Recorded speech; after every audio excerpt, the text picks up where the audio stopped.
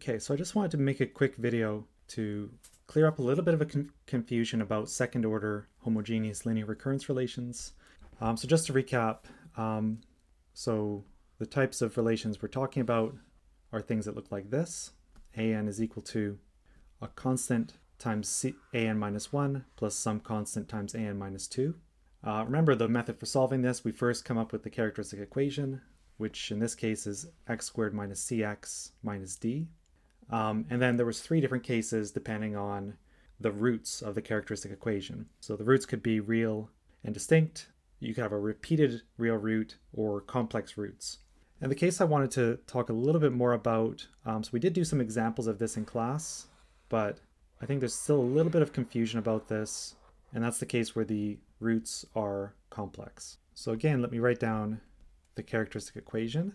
And first of all, how can we recognize whether the roots are complex. Um, this is something I guess everybody is very familiar with, right? You can use the quadratic equation. So the roots are, in this case, it's c plus minus square root of c squared minus 4 times 1 times negative d over 2.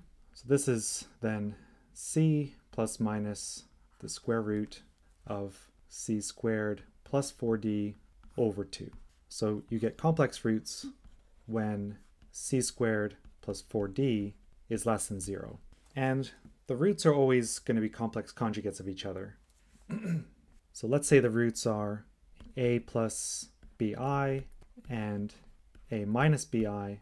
Then what we learned in class is that the general solution is capital A times a plus bi to the n plus capital B a minus bi to the n for some constants a and b. Okay, and this is our general solution for an.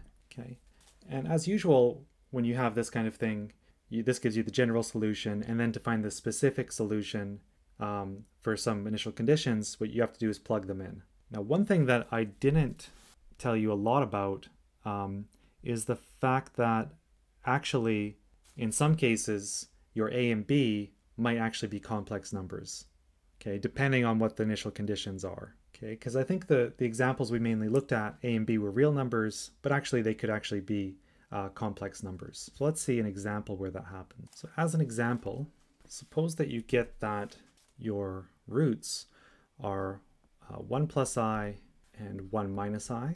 So then your general solution looks like a times 1 plus i to the n um, plus 1 minus i sorry, times plus b times 1 minus i to the n.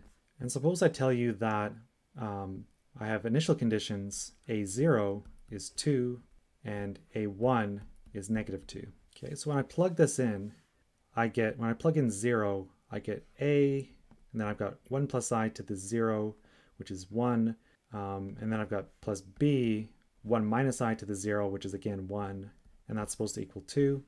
And then I've got a um, times, this time, a 1 plus i. So this is when I'm plugging in n equals 1 into here.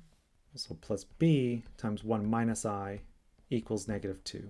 So the equations we have are that, yeah, a plus b is 2, and then this equation here, a times 1 plus i plus b times 1 minus i is equal to negative 2. If I take this second equation, I can write it as a plus b plus a times i and then minus b times i.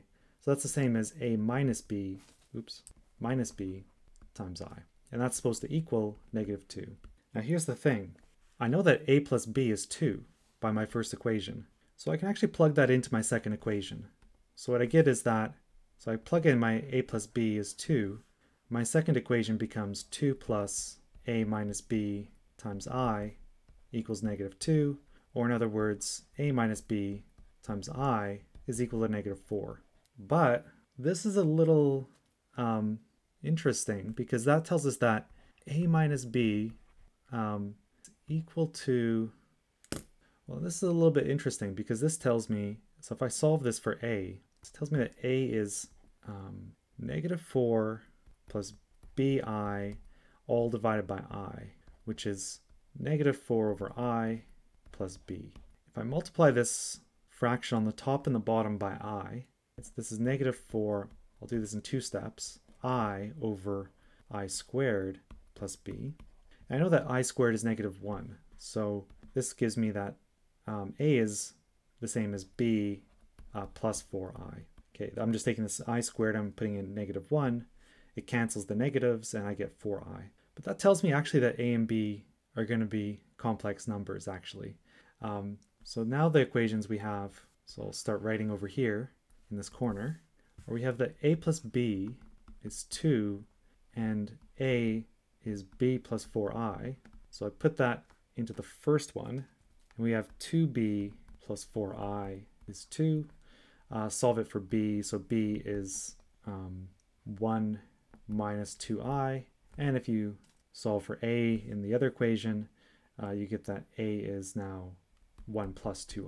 Okay.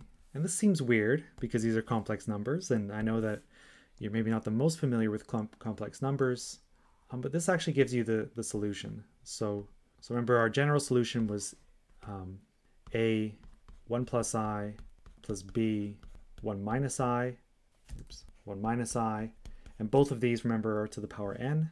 and what we found, we, we solved for a and b, and what we found is that an, so our solution is 1 plus 2i, 1 plus i to the n, plus 1 minus 2i, 1 minus i to the n. And that is the final answer, which seems extremely weird because uh, we've got all these complex numbers floating around, but somehow I know that an is an integer. Um, and it turns out, yeah, yeah, these things do always kind of cancel out and give you an integer. Um, it might not be easy to see that right from here, but uh, it always will be true. And always with these things, if you are worried about it, you can always check the answer, um, but you don't really need to. Um, as long as you've solved the equations correctly, you will get the right answer. It just, don't be afraid if it has complex numbers in it. Um, one thing I should say is that if your an is real, if your sequence an is a bunch of real numbers, then a and b, so we know that, first of all, so these numbers here, the roots have to be complex conjugates. And what I'm saying is that a and b also must be complex conjugates. So if you ever end up um, with a solution where these this A and B are not complex conjugates, then you know that there's something wrong there, um, and you might need to uh, go back and look at your solution. Okay, so hopefully this helps clarify some confusion about uh, this case of complex roots. Um, and uh, yeah, so thank you for watching.